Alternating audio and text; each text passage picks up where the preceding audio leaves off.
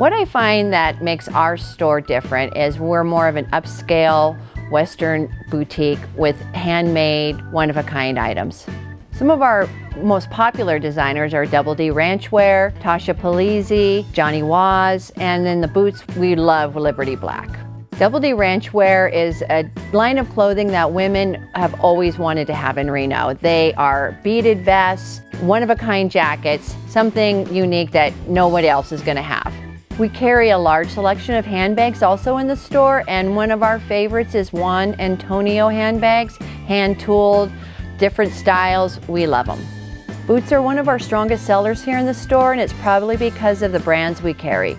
Liberty Black Boots, Lane, and Old Gringo are some of our favorites.